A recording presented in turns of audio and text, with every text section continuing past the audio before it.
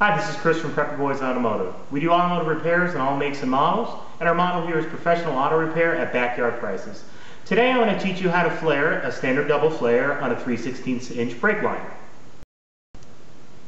Okay, there are several different type of flares that you use on anything from brake line, uh, fuel line, power steering line, etc., etc., etc. This one, we're this segment we're only going to be con concentrating on the main flare, uh, most common, which is a double flare. This is used in a lot of GMs, older products, that sort of thing. There also is a couple different other flares known as bubble flares, which you'd use something a kit like this one. All these kits are going to look very similar, but the little chucks here, these bits, will be very slightly different. Maybe a little blurry, so you probably can't see it that well. I apologize. This is a this is a bubble flare kit, so it actually has a bubble instead of a double flare. This is our standard double flaring kit. Very similar to this one, except this one doesn't have a built-in cutter in it. And there is also this kit, which will make a metric flare kit, which mostly is used for European and some Japanese vehicles. Once again, very similar in the kit. The only difference is the actual size of the block and the actual fitting. Now, first thing we're going to do is we're going to take our 3 16 inch line. This is brake line. This is the very most common size brake line in most vehicles. And first off, we're going to put our other kits away and get that out of the way.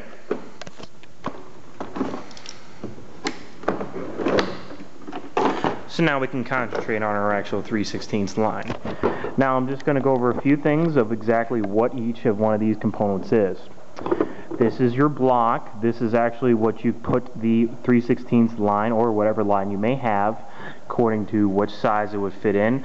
This is what holds it so you can actually flare the line itself. This is also this is known as a press. Maybe other names of it, but this is what I call it. This is actually what forces your actually chuck down to actually make your flare. You have your rod that actually goes through the chuck or the actual press, or however you want to call it, and it gives you the leverage you need to actually pry it down. And then you have these fittings here. These come in anywhere from, this kit actually goes from 3 16ths to 1 half, and these are the little fittings that you would have to actually flare the line. Probably a poor picture because of the distance, but they all are very similar, just have different ties rods in the middle of them.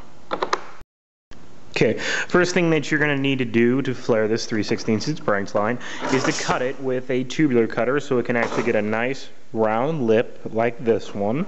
I've already gone and done that. Um, this is the tubular color. All you have to do is install this actually on your 3 16 brake line.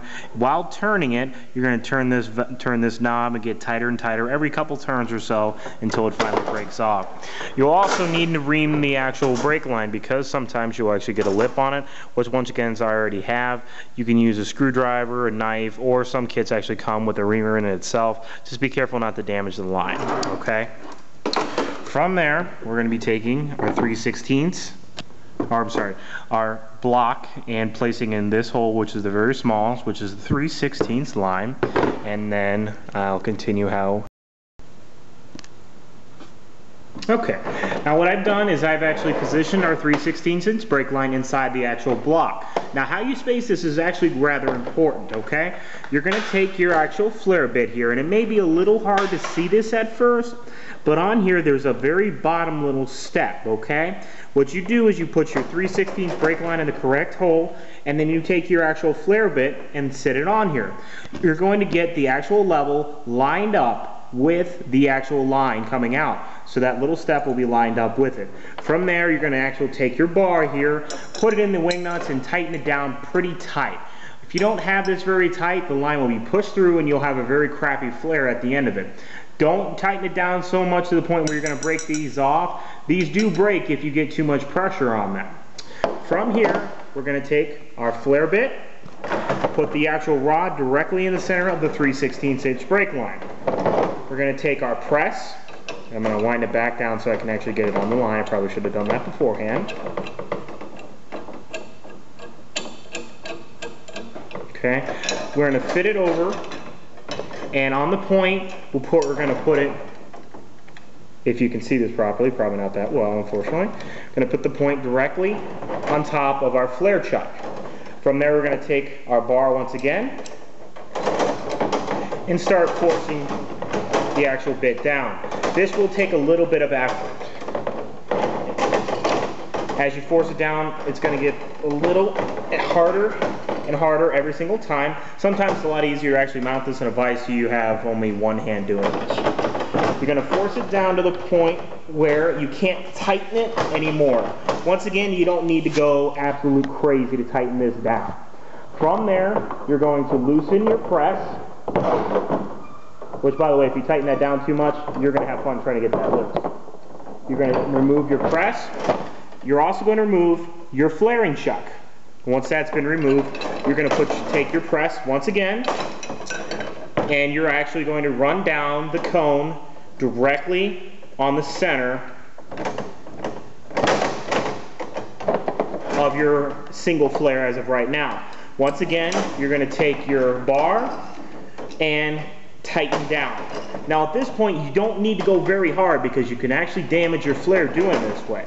You're going to run it down until you start getting a good amount of resistance, like what I'm getting right now. Once you've done that, once again, loosen your press. Remove the press completely. And you're probably going to need to use your bar to loosen the actual block, just because if it's nice and tight, it's not going to very easily. Take the wing nuts down, okay, and remove. And this is what you're going to come up with. Now, this double flare did not come out as perfect as it should. I think I actually had the arbor press at a different angle, the wrong angle, okay? But this is a general what a double flare is going to look like. Now, however, I didn't put an actual fitting on this line because this is just for demonstration purposes. But once you've taken this down, you'll put your, your fitting directly up here and you can thread it into whatever you are going into, a line, wheel cylinder, whatever, etc., etc., etc. Now, if it comes out like this, you're going to need to redo this. Once again, I did this a little sloppy. Um, other than that, uh, you're just going to make a fitting on the other side as much as you need it. This does take practice. It does take a little bit of skill to get this down. Um, of course, the proper equipment does help. A cheap flaring kit typically won't do it because it'll slide right through the block. But however, most people is not going to want to spend over $150 for a decent flare kit. Uh, if you like the video that you've seen, please subscribe with the information below, your name and your email address, and I'll continue to forward these videos on to you. Thank you for reviewing.